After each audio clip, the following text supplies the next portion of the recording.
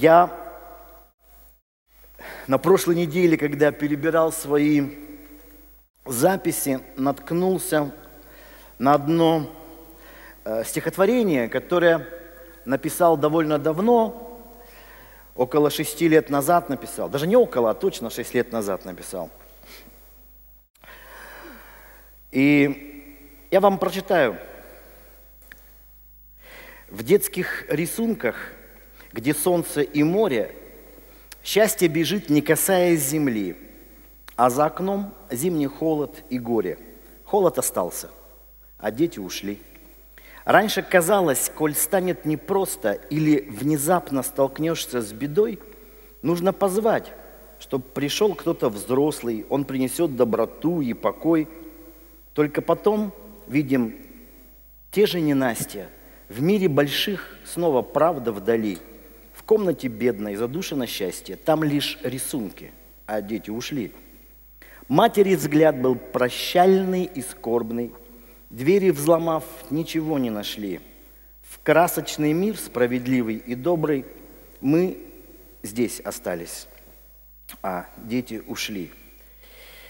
И эти строки я написал после того, как, просматривая новостную ленту в интернете, шесть лет назад наткнулся на одну новость, которая произошла у нас на Урале, в Челябинске, когда 33-летняя женщина э, снимала комнату в коммунальной квартире, особо как бы соседи говорили, ни с кем не общалась, не знакомилась, была не слишком разговорчивой, но все ее характеризовали как ту, которая была вежлива, здоровалась со всеми. В общем, была довольно приятной женщиной. И вот однажды, когда хозяйка дома, хозяйка этой комнаты, точнее, пришла за деньгами в конце месяца, дверь в комнату оказалась запертой, на стук никто не отозвался, решили взломать дверь. Когда взломали дверь, попали в эту комнатку, то увидели страшную картину. На э, диване лежали задушенные два мертвых ребенка и мать, которая повесилась в этой комнате. А, в предсмертной записке было написано, написаны такие слова. «Мы сами ушли, родственников нет, простите, очень тяжело, когда помочь некому». И там также вместе с запиской было несколько квитанций из ломбарда, то есть видно, чтобы как-то прожить, эта женщина сдавала свои вещи, чтобы выручить хоть какие-то деньги.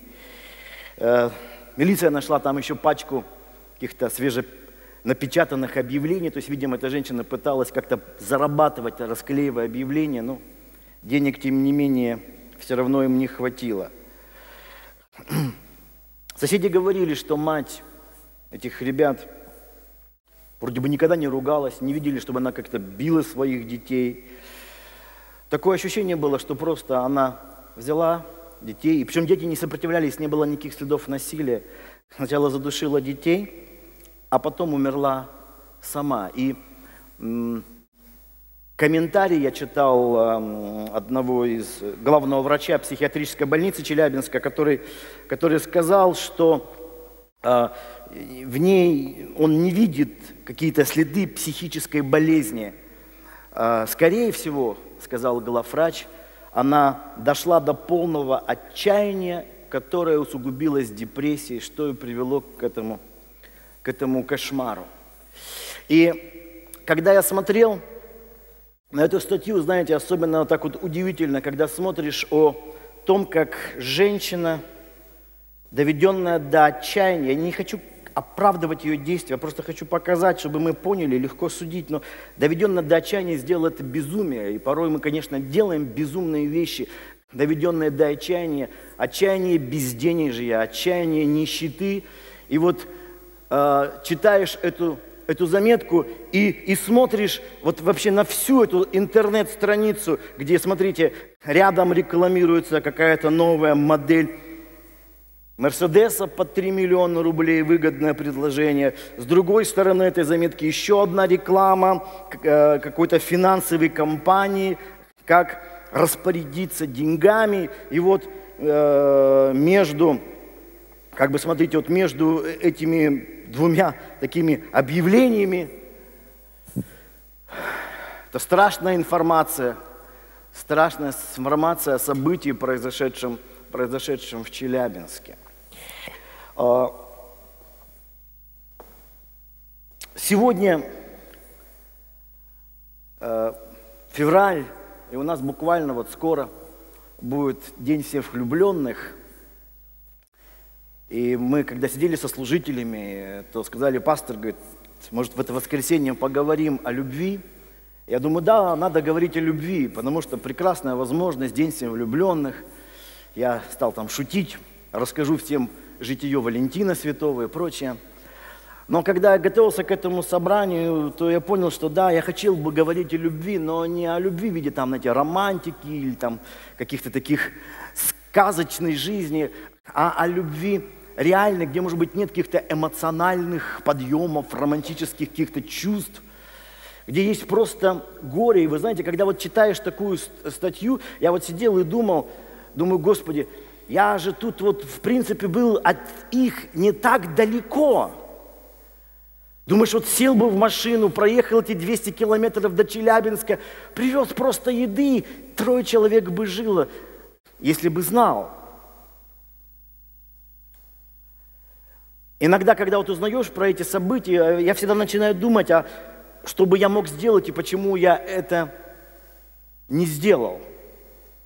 Как, а, помните, может быть, в финале Э, фильма «Список Шиндлера», да, когда уже все, освобождение, да, и э, уже освободили концлагеря, и выходят вот выжившие, и в том числе выжившие благодаря деятельности этого Шиндлера самого, да, а он э, ходит между людьми и говорит, э, у меня же вот еще вот есть золотой значок нацистской партии. Если бы я его продал, это же еще несколько человек.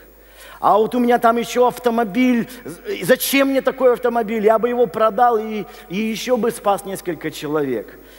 А, думаешь, а что бы я мог сделать? И здесь любовь не в плане вот этой эмоциональной романтики, а в плане того, сколько вокруг нас несчастий, сколько вокруг нас горя, и как порой мы стараемся очень усиленно все это вокруг не замечать, помечая любовь только в сферу каких-то вот таких муси-пуси, вот таких романтических отношений, не понимая, что любовь-то это как раз и есть открытые глаза на боль других, на несчастье других, на страдания других, на страдания других людей – когда ты спрашиваешь, а что бы я мог сделать? Потому что, вы знаете, это же ужасающая статистика, что сегодня в мире людей, которые болеют, э, страдают из-за переедания, намного больше, чем тех, кто умирают от голода.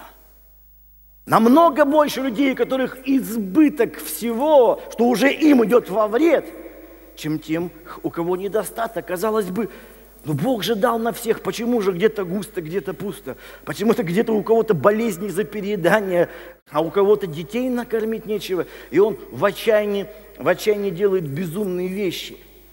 И, конечно, вы понимаете, этими вопросами можно задаваться долго и э, думать, но есть большая беда, когда э, наша любовь э, уходит просто в такую сентиментальность. Когда ты читаешь вот подобные статьи и думаешь, ну да, как же бедные, несчастные, как же мне их жалко всех. Вот просто сентиментальность, потому что ты уже в этой случае ничего поделать не можешь. Но важно, чтобы наша любовь уходила не в сентименты и не просто в эмоции, а в конкретные дела, потому что эти дети ушли. Но сегодня вокруг нас не меньше людей, которые вот сегодня нуждаются в реальных делах любви. А мы, бывает, настолько закрыты. Наша любовь – это святой Валентин, это Муси-Пуси, это вот, вот так вот все. И мы не видим нужды людей, мы не видим горе людей, мы не видим, мы не видим боль людей. А ведь это и есть то, где как раз и необходимо жизненно, как вот в данном случае, необходимо проявление любви. И тут, конечно, я думаю, мы должны с вами прочитать историю из Евангелия от Луки, известную, наверное, одна из самых знаменитых евангельских историй. Но я бы очень хотел, чтобы Дух Святой сегодня коснулся нас, и мы по-новому посмотрели на эту древнюю историю. Это Евангелие от Луки, 10 глава, 25 стих. Вот один законник встал и, искушая его, сказал, «Учитель, что мне делать, чтобы наследовать жизнь вечную?» Я думаю, что из пришедших здесь практически каждого интересует этот вопрос, иначе нас бы здесь не было. Если бы мы э, жили только вот внешним двором, о котором сегодня Диана рассказывала, ну, мы бы пошли сегодня в магазин, мы бы, может быть, поехали в торговый центр, с утра там поменьше людей, еще так как бы спят в воскресенье утром. Но мы пришли сюда, в церковь, встали, приехали в церковь. Почему? Нас интересуют вопросы о вечности. И, как правило, когда мы думаем о вечности, о вечной жизни, вот о полноте духовной жизни, ну, тут молитвы важны, как-то дух... Ну, много чего у нас тут для христиан необходимо. Но смотрите, что Иисус отвечает – Иисус сказал ему, в законе что написано? Как читаешь? Он сказал в ответ, возлюби Господа Бога твоего всем сердцем твоим, всей душою твоей, всей крепостью твоей, всем разумением твоим и ближнего твоего, как самого себя. Иисус сказал ему, правильно ты отвечал, так поступай и будешь жить.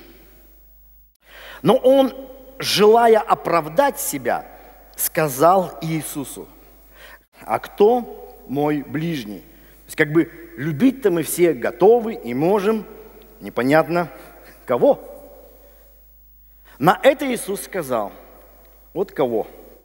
Некоторый человек шел из Иерусалима в Иерихон и попался разбойникам, которые сняли с него одежду, изранили его и ушли – оставив его едва живым. По случаю один священник шел той дорогою и, увидев его, прошел мимо. Также и левит, быв на том месте, подошел, посмотрел и прошел мимо. Самарянин же некто, проезжая, нашел на него и, увидев его, жалился. И, подойдя, перевязал ему раны, возливая масло и вино. И, посадив его на своего осла, привез его в гостиницу и позаботился о нем. А на другой день, отъезжая, вынул два динария, дал содержателю гостиницы и сказал ему, позаботься о нем, и если издержишь что более, я, когда возвращусь, отдам тебе. И вот Иисус после этой истории задает вопрос. Кто из этих троих священник, левит и самарянин. Кто из этих троих, думаешь, ты был ближнему, был ближний попавшемуся разбойником? Он сказал ему, оказавший ему милость. Тогда Иисус сказал ему, иди и ты поступай так же. Если мы не знаем ситуацию того времени, очень трудно до конца эту притчу понять. Почему? Потому что взаимоотношения между Иудеей и Самарией были непростыми. Вначале было единое государство Израиль. Пока это было где-то за тысячу лет до Рождества Христова, после смерти царя Соломона, его слуга Соломонов Иераваам не поднял бунт, не поднял мятеж, что привело к расколу в израильском государстве. И десять колен, то есть большая часть, поддержали мятежника Иераваама.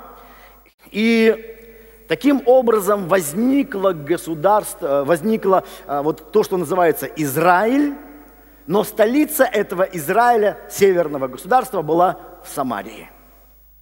А два колена, оставшиеся, Иуда и Вениамин, поддержали сына Соломона, Рава Ама, и э, таким образом возникла Иудея, у которой была прежняя столица в Иерусалиме. И вот разделение. Север – Израиль, юг – Иудея. Постепенно эти народы стали жить уже своими жизнями. Эти два некогда единые, а теперь два отдельных государства. И 700 лет до Христа Ассирия завоевала Северное царство, Израиль, и э, там произошла ассимиляция. И между Иудеей и Израилем, между южным и северными царствами все больше и больше возникали несогласованности какие-то, противоречия. И в конце концов это привело к вражде.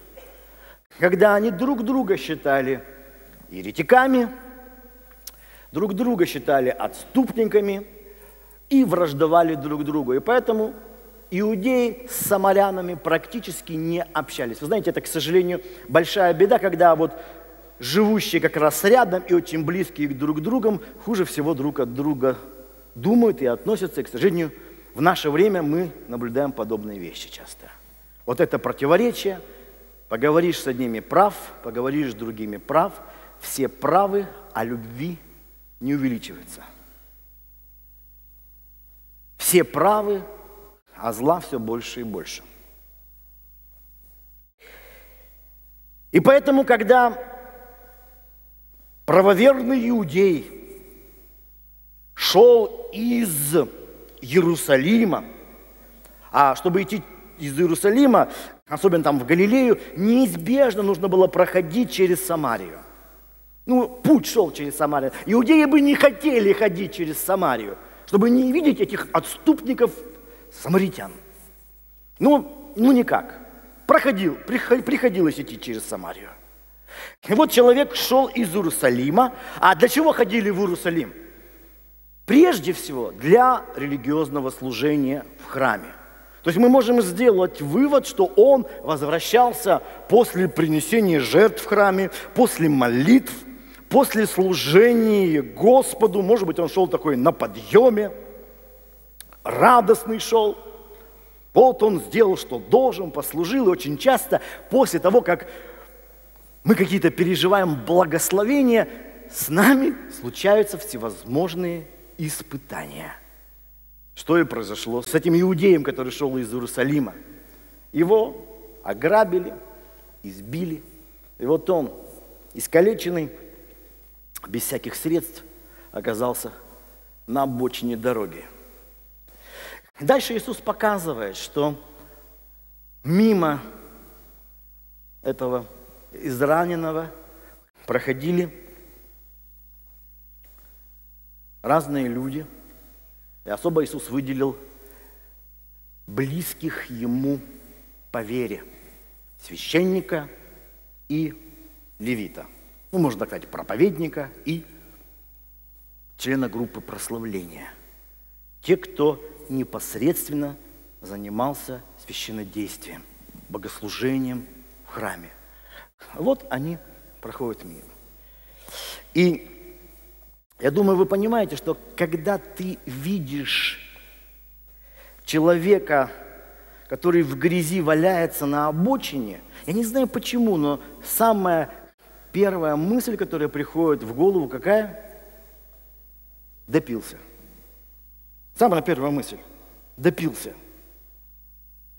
Я помню, э, некоторое время назад со мной такой случай, ну, неприятный очень произошел. Я помню, э, как-то тоже ехал на машине, и ты, ты была со мной, да, Диана? Мы, мы ехали на машине, и, и вдруг э, я увидел, как в сугроб вбуровилась э, машина какая-то, там такой мужчина был, вот, и, и мы проехали, и я говорю, от допился. И мне супруга говорит, послушай, а может быть нужно было остановиться, вдруг у него сердце прихватило, ему помощь нужна э, была. А мы так фью, пролетели мимо. Вот.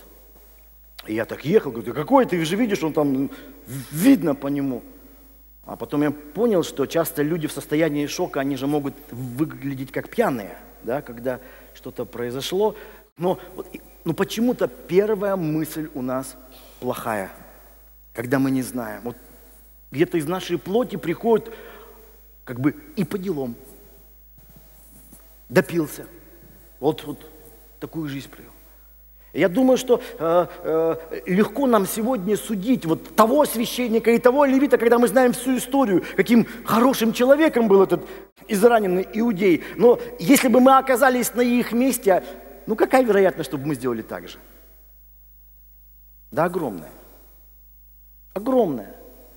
И не потому, что мы злые, а потому, что вот, вот так вот мы все устроены, мы проходим мимо тяжелой беды, тяжелого несчастья, и даем оценку этому. Вот это случилось потому-то. Вот не надо было грешить, не надо было пить, не надо было там наркоманить, не надо было вот еще что-то делать.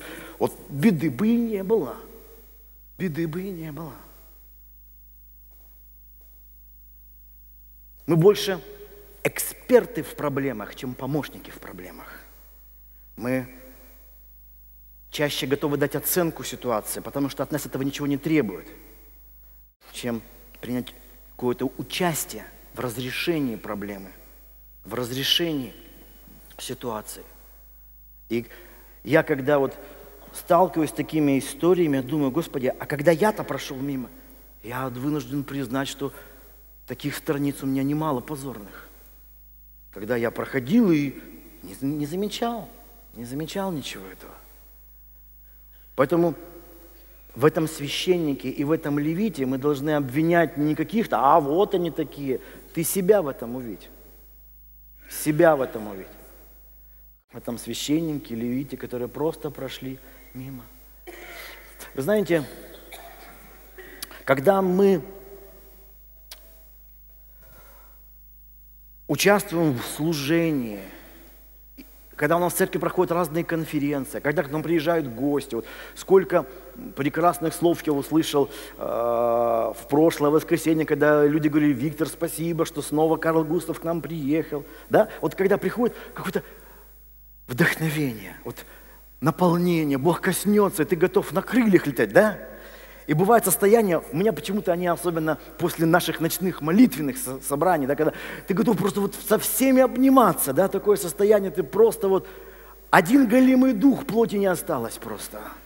Ты готов вот всех обнять и говорить, как здорово, Бог великий, Его любовь велика, и все. Вот мы иногда переживаем такое, когда Бог коснется, или проповедь особенно просто в, в тебе в сердце упадет, и думаешь, вау, Господь, все-таки ты есть.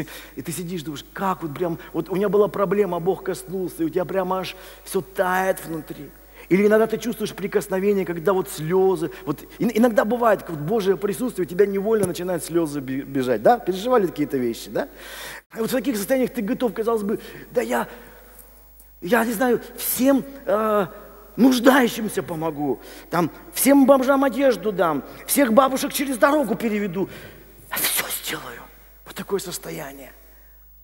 Помните, когда написано, Саул был в сонме пророков, вот злой, эгоистичный царь Саул был в сонме пророков, Дух Божий сходил на него, и он начинал пророчествовать, и написано, и становился иным человеком.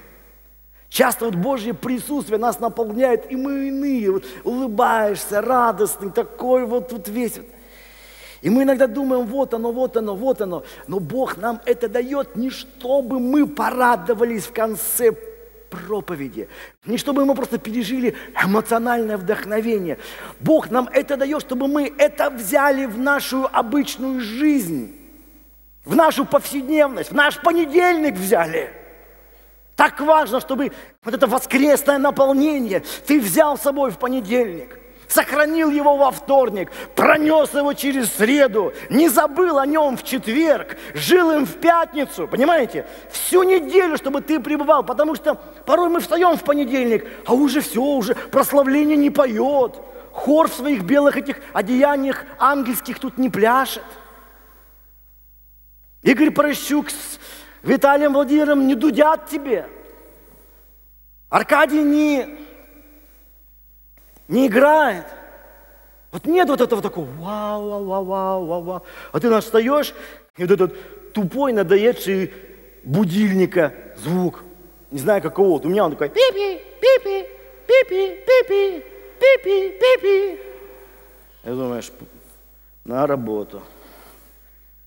И вообще тут уже вот эти эмоции, они так оставляешь. Yesterday. Помазание осталось yesterday. Благословения все остались yesterday.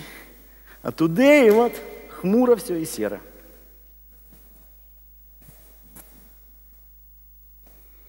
И вот в этот день ты сталкиваешься с массой совершенно обычных бытовых ситуаций, без хора, без пасторского вдохновляющего слова, без рассказов, кто там какие откровения по Библии получил, когда читал по плану.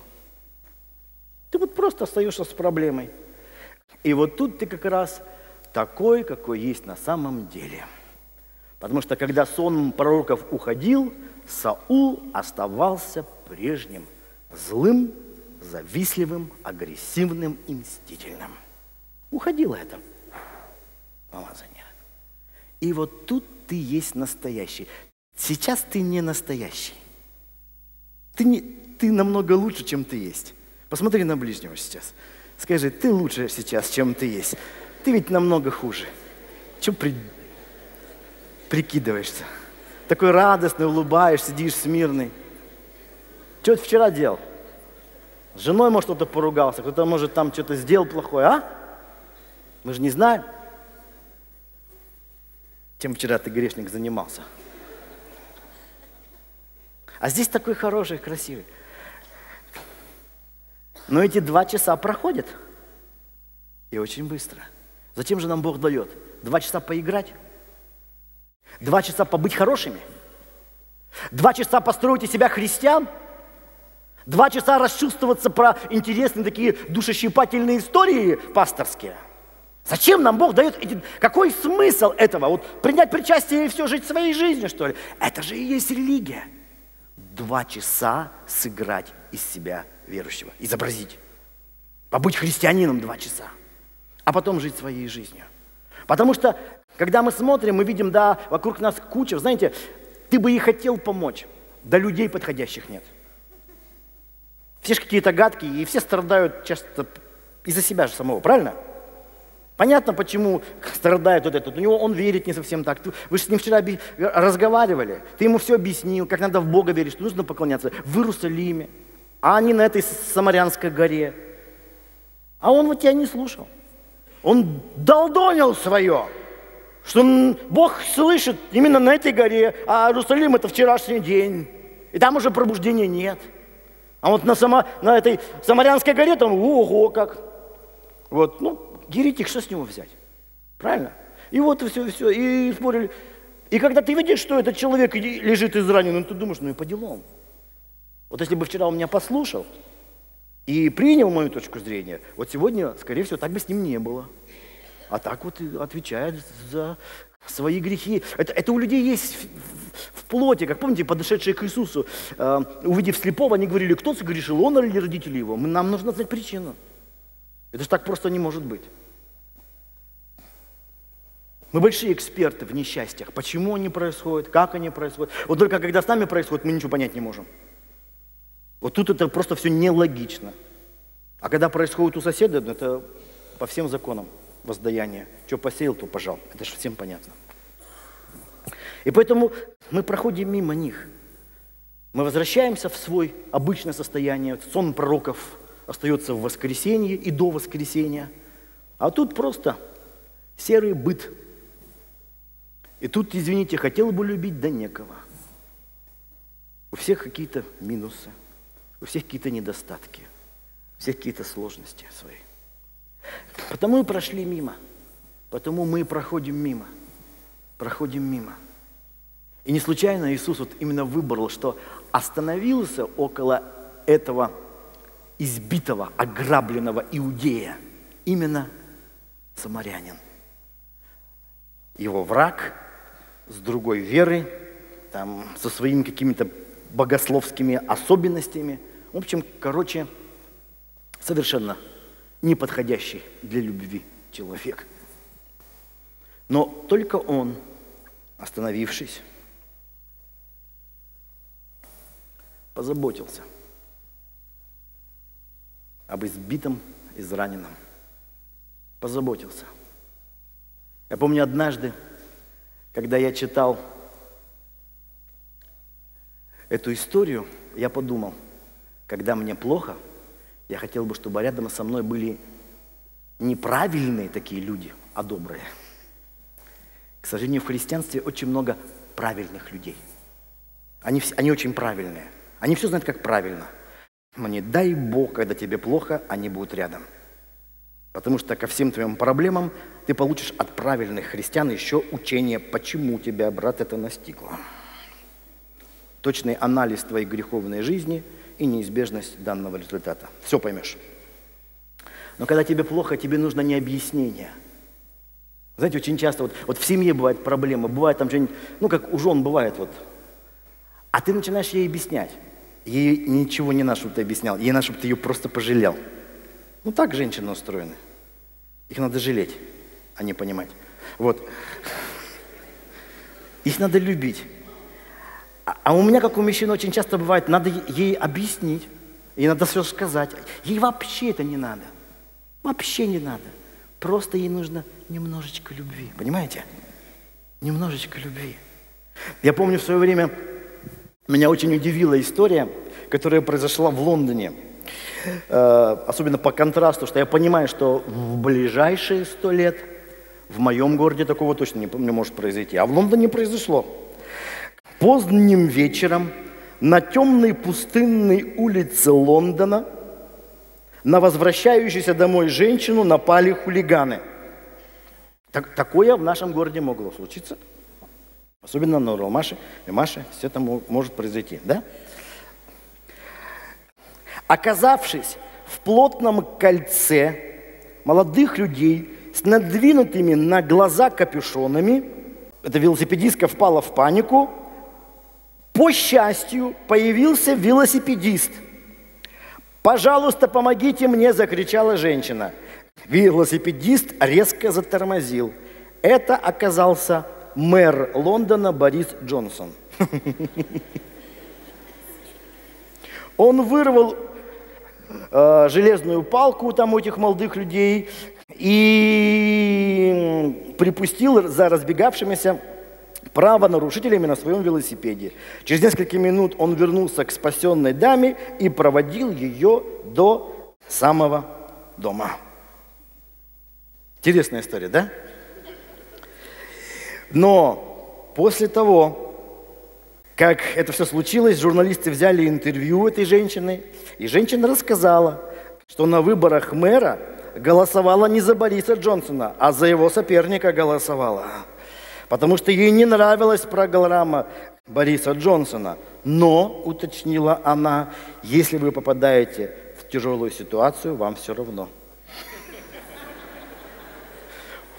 Поможет ли тебе тот, за кого ты голосовал? Главное, чтобы помог. Ты же не говоришь, меня избивают, и кто-то бежит на помощь. Ваши политические убеждения. Я за коммунистов. Уходите. Лучше смерть, чем ваша помощь. Тебе все равно. Тебе все равно. Так вот, вы знаете, мне иногда напоминает современный образ христианства вот, вот такую историю, когда в мире огромное количество нужды, нужды в одном, в любви. Потому что если мы хотим, знаете, как, как некоторым поразим этот мир там какими-то своими музыкой, там какими-то своими там... Да не поразим этот мир ничем.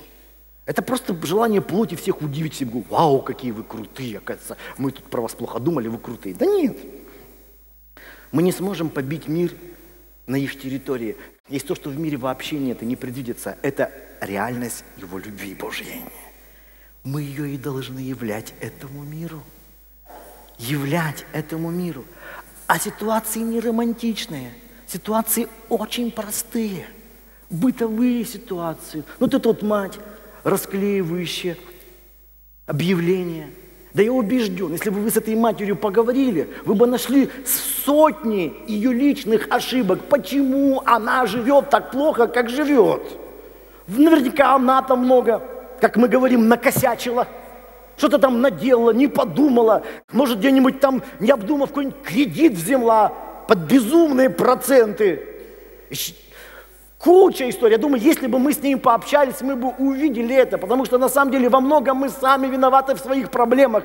И это правда, но только когда нам плохо, нам же неправильные люди нужны. Нам добрые люди нужны. Нам не важно, какие его политические взгляды. А мы часто в церкви, мы друг с другом пытаемся разобраться. Мы что-то друг другу убеждаем. Мы ищем вот эту правильность. Я давно перестал искать правильность в этих доктринах. Я вижу правильность в любви. И мне кажется, Иисус именно об этом говорил. Нечего тут разбирать богословие самарян. Нечего разбирать, в чем там кто-то от кого-то отличается в Иерусалиме или на горе сей. Когда ты поклоняешься Богу в духе и в истине – ты наполняешься Его любовью, и ты проявляешь Его любовь. В этом есть правда. В проявлении конкретной любви. И вот когда у нас сегодня вот этот грядет праздник, День всех влюбленных, вы знаете, самыми влюбленными же, по идее, должны быть христиане. Мы же должны быть самыми любящими людьми на этой земле, потому что мы с вами служим Господу, который есть любовь. Так написано у Иоанна, да? Бог есть любовь. Посему Иоанн продолжает, все и узнают, что вы ученики Иисуса, если вы будете что? Правильнее всех верить. Лучше всех проповедовать. Самые верные всех верных доктрин провозглашать в вашей церкви. Нет, если вы будете иметь что? Любовь. Вот так вот. Когда мы говорим о вере, сильной вере, мы забываем часто слова Евангелия. Вера действует любовью. Чем сильнее вера, тем мощнее любовь должна быть. А у нас чем сильнее вера, тем напряг больше. Сильная вера прямо намечтал себе и напрягаешься, чтобы все получилось. Верующий, значит, стоит в вере, не сдается. Такой умер, не получив Мерседес за 3 миллиона – хотя верил. Но моя вера, это вот не в этих, то, что по бокам мы видели, а в центре. Вот израненный, ограбленный. Может быть, по своей вине в чем-то. Это не имеет большого значения. Но я должен для этого человека стать ближним. Не, не для идеального человека, которому мне хотелось бы. Кому я хотел бы стать ближним – вот ты сейчас думаешь, вот кому я хотел бы стать ближним? Вот если бы там, например, Карла Густава избили, я бы пошел ему на помощь.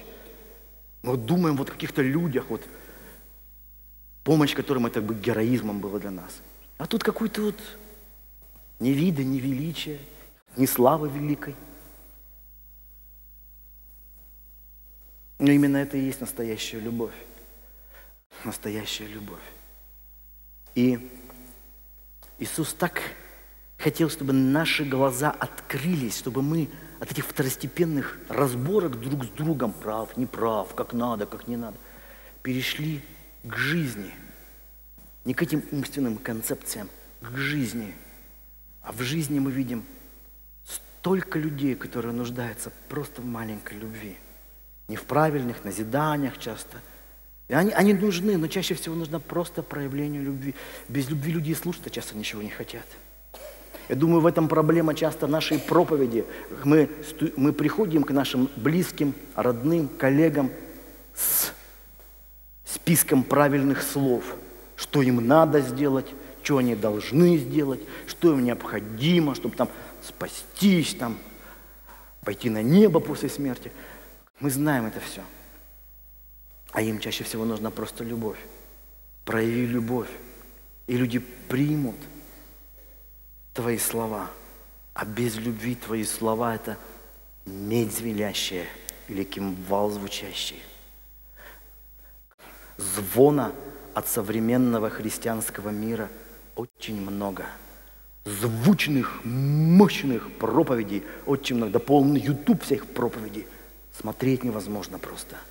Потому что мы стали настолько мастерами в красивых словах, в правильных изречениях.